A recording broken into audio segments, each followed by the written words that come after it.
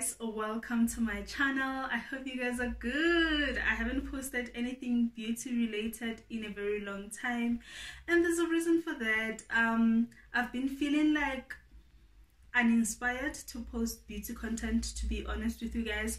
And a lot of people that are in my circle a lot of people that i also watch that are beauty youtubers have also not been posting and they've moved most of their beauty content to instagram and have been posting more vlogs because they said that um, viewership for beauty content beauty content has dropped. So that sort of made me to question whether people are still interested in beauty content or not. Are people still learning stuff? Do people enjoy makeup tutorials? I know people love vlogs and stuff but i just don't know if makeup tutorials are still relevant if i may say. So yeah i'm still in the middle of that whole situation but i decided to just come here and post something and I created this look. So this tutorial today is not really about this look. It's a tutorial where I'm gonna share with you the best tips that I have learned that I have tried that have completely changed my makeup game. Like these tips will change your life. Literally you'll get perfect makeup all the time if you apply them you can obviously twitch them and switch them up depending on your preference but for me they give me a face like this all the time every day all day. If you're interested to learn how to up your game when it comes to makeup just stay tuned. Um i hope you are subscribed. If you haven't subscribed subscribe now. If you don't follow me on instagram follow me now pause this video and go follow me. And also comment down below and like this video. Until next time from me to you guys with love. Um, so the first thing that i'm going to start with is my brows. The one thing that I've learned when it comes to my brows is that you need a very sharp pencil all the time. Like make sure that you sharpen your pencil all the time. That is how you get a very nice precision. Secondly you want to use as little product as possible. I'm going to show you what i mean by that. So i'm going to just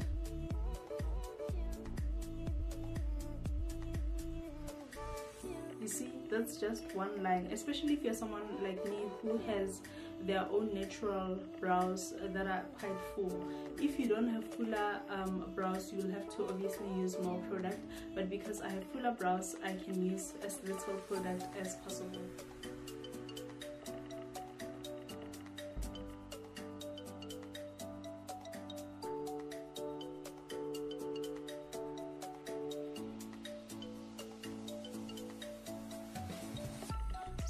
I've done that I'm just going to brush out the product to diffuse it and to this gives me a more natural looking brow.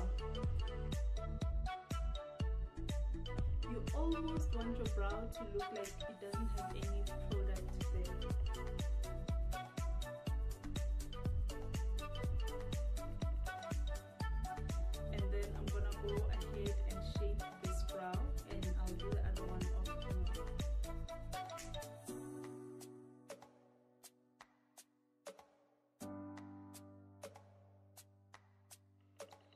then the other thing that I've learned is that when shaping or outlining your eyebrows you want to use a concealer brush but you want a flat concealer brush. So what I usually do is that I will take my brush and sort of pinch it like this. This gives me this flat shape that gives me more precision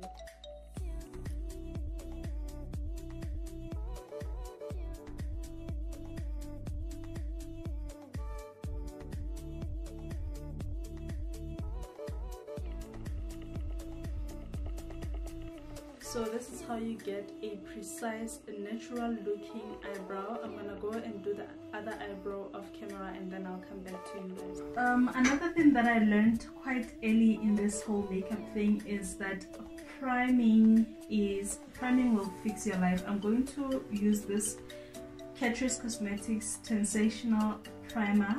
Um, like Nikki Tutorial says not not not priming not to prime is a crime so priming is a must it closes off all your pores it makes your makeup your foundation particularly apply very nicely so you need to prime at all times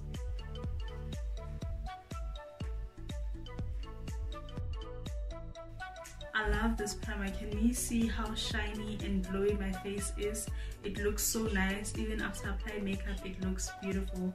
And for my foundation today, I'm going to be using the Yardley Stay Fast foundation in the shade MD1C. I'm going to mix it with my Maybelline um, Super Stay foundation in the shade 60 Caramel um, because the Yardley is a bit dark for me so I love mixing the two to get a perfect shade so another thing that I learned that has saved my makeup game using a blender to do all your makeup steps like when it comes to your face concealer foundation contour using one sponge to do all of that gives you a more nice and blended finish and I'll show you why I say that but trust me do that and you will not regret.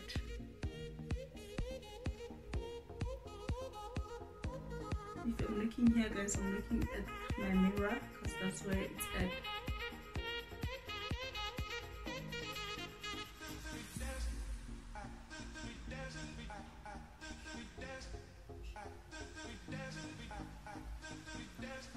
And since cutting my hair, I prefer applying most of the foundation here on the lower part of my face and as little foundation as I possibly can on my forehead because I find that if I apply a lot of foundation on my forehead the contrast between my hair um, a bit of hair that I have and the foundation is quite a lot. And it seems like I'm wearing a lot of makeup but if I apply little product then it looks very nice and this sponge that I'm using is damp. You always want to make sure that you put your sponge under running water for some time and then you drain all the water out before using it. Because if you use a dry sponge trust me your makeup is going to look wretched like it's going to be a mess. Can you see the glow that is as a result of that underneath primer that I put on? It's actually amazing so I make sure to blend your foundation down your neck. So at this point my foundation looks flawless already. It looks it's perfect basically. What I'm going to do now is highlight and contour and this is very important especially in this video one trick that I've learned when it comes to contouring because I'm gonna start I'm gonna highlight but wait for that to dry and contour my face. One thing that I've learned when it comes to contouring is that use a foundation shade using a foundation to contour your face a darker foundation to contour your face gives you a more skin-like um, finish. Your contour looks a bit it's, it's flawless man like it blends nicely into your skin because generally foundations blend nicer than concealers on your skin so that's what I have been doing in the past couple of weeks and I've been loving it. So for concealer, I'm going to use this um, L'Oreal Infallible Concealer in the shade Caramel. And then I'm going to also be using the Fawn Concealer in the the LA Girl concealer in the shade Fawn. Mixing those two is my favorite thing to do because this gives me a bit of brightness and this just looks nice on the skin.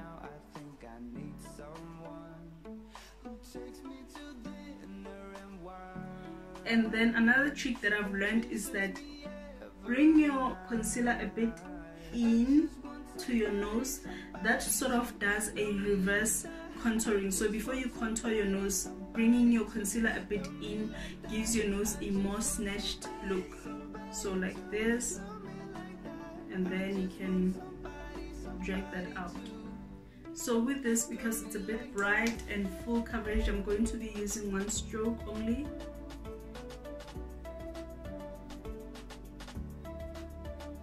or to contour my face I'm taking this NYX Can't Stop Won't Stop foundation in the shade Mocha.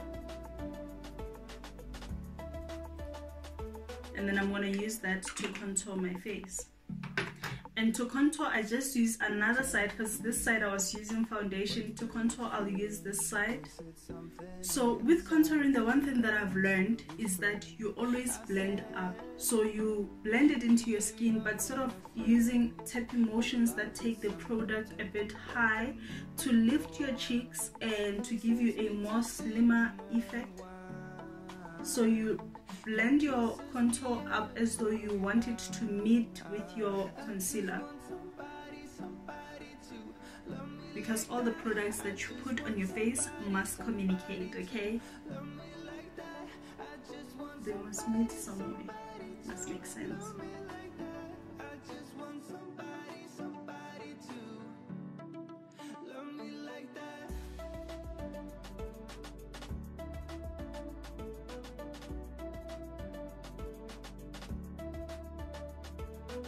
and then to contour my nose I'm going to take what's left of that contour shade and then I'm going to be using this sharp end of my sponge to just shape my nose.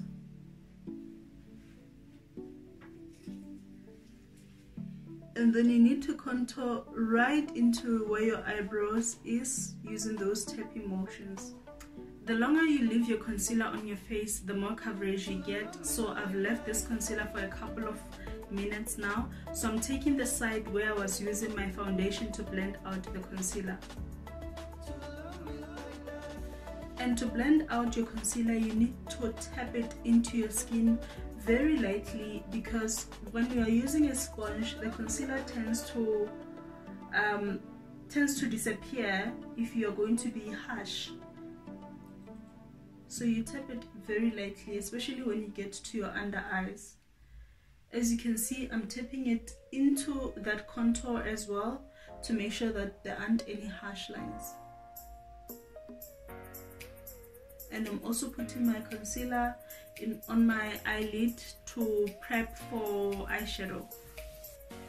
Looking up like this allows you to get into the very thin part under your eye so that there aren't any creases there because this part tends to crease quite a lot. So you want to look up and push that concealer into your skin. And then you take the excess concealer and just push it here put it here under the contour to define that part quite a bit. Once you've done that what I've learned and I've started doing is I go with the balm of my sponge so this part and I just blend everything out making sure that the concealer the the highlighting concealer and the contour concealer meet nicely and there aren't any harsh lines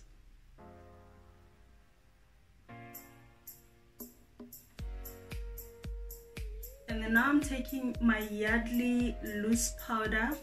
It's a translucent powder. And then I'm gonna use that to set all the places where I've applied my highlighter. So I take it on the uh, of my sponge again. I look up and then I just push the product in like so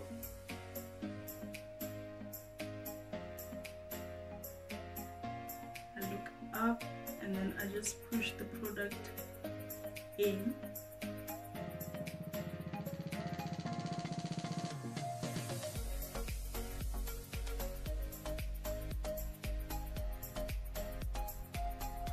Now you've used all the product that's there but this part is still quite dry. You can use it to set the rest of your face what I've really been enjoying is using a darker powder as well to set all the places where I've contoured. So as you can see, I'm blending this up as I did with the contour. And then I blend it into my forehead to reduce that contrast that I was talking about.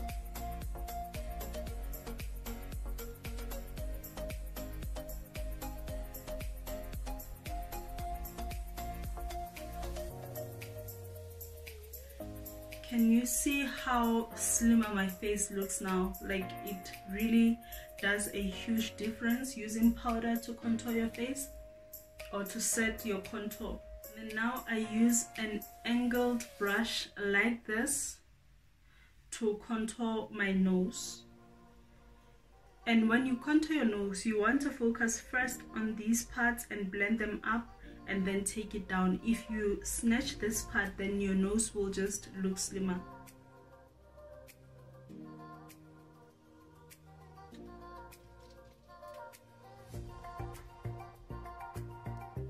now there's foundation all over this sponge and concealer and all the good stuff. So you want to take this sponge to just blend out your nose contour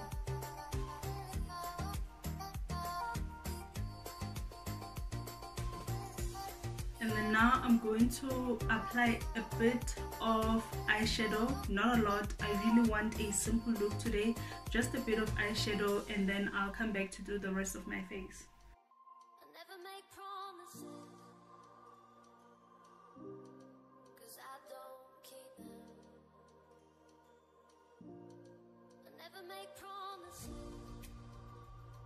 now I'm going into my beauty treat palette and I'm going and I'm going to use this pink shade to just apply as blush. Um, now when it comes to blush I used to only apply it here but I've learned that applying it all the way into your contour going a bit up and elevating it gives you a very nice um, look a more blushy look so I take it all the way up like this.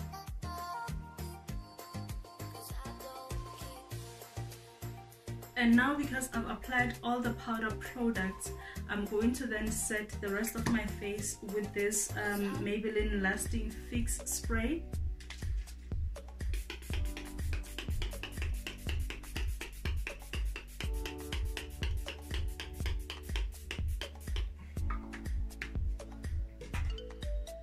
and then I take my sponge to just let that settle in.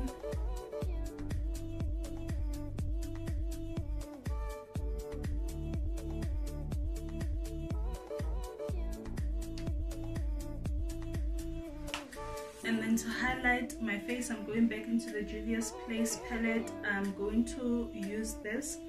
Um, another thing that I've learned um, I'm going to be using this shade called Odogwu. Another thing that I've learned is that using little product to highlight your face actually gives you the most beautiful glow than if you use like a lot of highlighter. So I just tap my brush like so. Then I just highlight my face.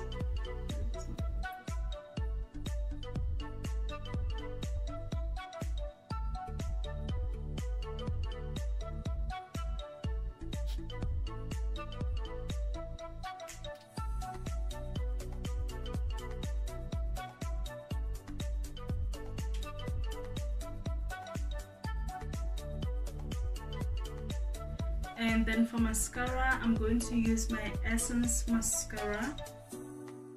I'm not sure if I want to wear lashes today. I feel like I don't want to wear lashes but at the same time I feel like if I don't wear them I'm gonna regret.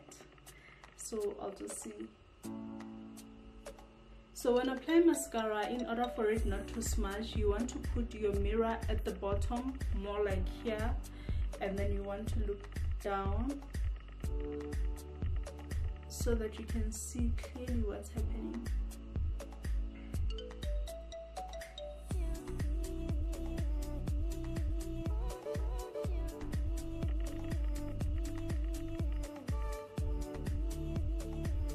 and if it happens that you mess up like you spill a bit of mascara here just wait don't worry about it wait for it to dry and then just remove it with an earbud or something like that it will fall off quite easy. Um, now i'm gonna do my lips. I think i'm not wearing lashes today. I don't know. What do you guys think? Lashes or no lashes? I'm gonna do my lips uh, and for this look because it's quite simple i'm going for a simple lip.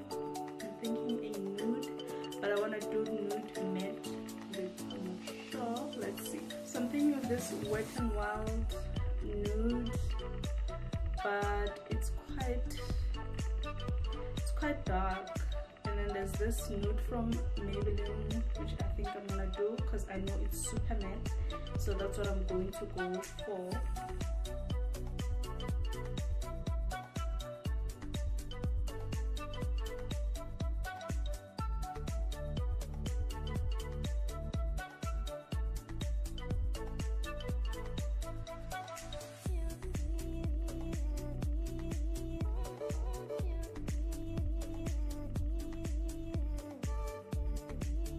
so this is the look guys and i feel like if i don't wear lashes i'd really be playing myself because this look is a look. I'm gonna go on pop on my lashes and then come back to show you guys the final look and this guys is the final look from me. I love how it came out. Let me know what you think about this look down below. Um, i decided to put on lashes and i don't regret my decision. I feel like they make sense you know? They make sense. I went with a nude lip that sort of matches my um, my blush. So this is the final look guys. I hope you did enjoy it. Give it a big thumbs up. If you did don't forget to like comment and also subscribe to my channel if you haven't subscribed yet. Until next time from me to you guys with love.